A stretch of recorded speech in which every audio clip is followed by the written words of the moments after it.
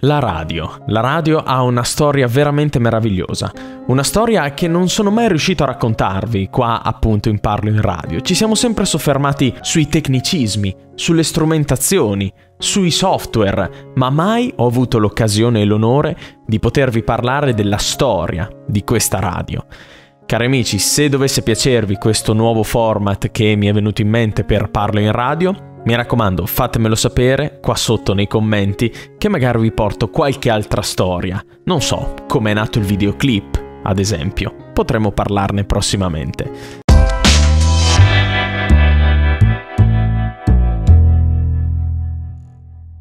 Già, ma come mi è venuto in mente di portare un podcast in cui racconto di radio, in cui parlo di radio, parlo della storia di questo mezzo? Beh, perché io sono uno studente di comunicazione, al di là di speaker, radiofonico, eccetera. Studio comunicazione e studio questi mezzi, oltre alla radio, studio anche televisione, eccetera, ma questa nel, in particolare mi ha colpito molto perché pensate, verso la fine del XX secolo eh, sono state inventate due importanti tecnologie all'interno del suono.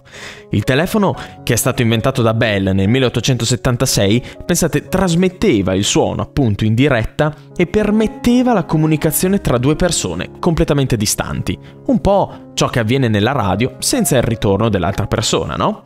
La registrazione, pensate, meccanica, che è stata inventata da Edison poi nel 1877, univa questi aspetti, o meglio il telefono univa questi aspetti, la memorizzazione di un istante, la sua conservazione e la sua riproduzione, il tutto in pochissimo tempo. Era in grado di stabilire un rapporto con l'ascoltatore, il telefono era un mezzo di scambio istantaneo ed effimero, mentre la registrazione meccanica era il mezzo di conservazione e di diffusione indifferita. Venne presentato a Parigi nel 1881 il teatrophone, strumento che permetteva di conservare ciò che la registrazione meccanica non poteva raggiungere. La forza dell'interpretazione in diretta, la presenza dell'uditorio erano due particolarità importantissime all'interno di questo strumento. L'opera veniva fatta ascoltare, ma anche presentata nel suo modo abituale, in pubblico. Tutte queste nuove invenzioni del suono meccanizzato ed elettrificato hanno creato una nuova qualità del sonoro. Vibrazioni acustiche tradotte in tracce solide e variazioni di stati elettrici o magnetici. Anche attraverso la scrittura musicale ottocentesca è stato possibile la composizione di melodie più complesse.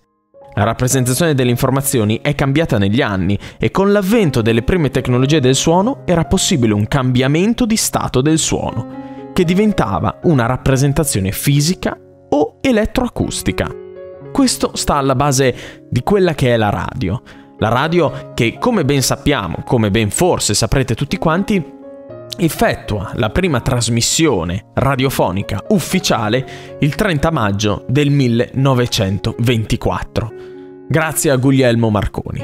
Guglielmo Marconi, inventore della radio, ma anche il primo protagonista del mezzo che è andato ad utilizzare. Approdiamo quindi, dopo la prima trasmissione di Guglielmo Marconi, al 1925, con l'invenzione dell'altoparlante. Con questa invenzione si impose anche la radio soprattutto nel campo dell'arte. In Germania prese piede il futurismo russo, avente come strumento principale proprio la radio, con un utilizzo provocatorio, portatrice di un'estetica mondiale che ha la capacità di attirare lo spirito umano attraverso la sua meccanicizzazione.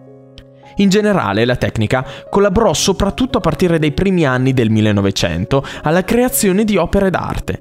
Pensate, la tecnica, tecnologia, diventerà il perno fondamentale anche nella musica russa, che dovrà aderire a queste tendenze. Ed eccovi in pillole spiegata come è nata la radio, quali sono i fattori che hanno portato alla sua creazione. L'avreste mai detto voi che la radio nasce dal telefono? Beh, forse no, e diciamo che il telefono è completamente distante no, dal mezzo radiofonico a cui tutti noi siamo abituati oggigiorno. E soprattutto, sì, troviamo molto telefono all'interno delle nostre radio, ma per parlare con gli ascoltatori. Mai ci saremmo immaginati che fosse il telefono il padre della radio. Questo è quello che dovevo dirvi oggi, cari amici. Ho in mente tantissime altre cose in una serie di questo tipo che magari potrei portarvi una volta al mese. Fatemi sapere se può piacervi. Ho ancora tantissime cose di cui voglio parlarvi. Vorrei parlarvi della storia del jingle, della storia della pubblicità, della storia della musica all'interno della pubblicità, della storia dei videoclip. Insomma, la lista è davvero lunga. Se può piacervi un podcast di questo tipo, fatemelo sapere con un mi piace o con un bel commento. Io leggo tutto e rispondo a tutti. Per il momento è tutto e questo parlo in radio sperimentale termina qua. Io vi aspetto sui miei canali Instagram, at Omega Radio, at il podcast, e vi rimando a lunedì prossimo, sempre alle ore 15.30. Ciao!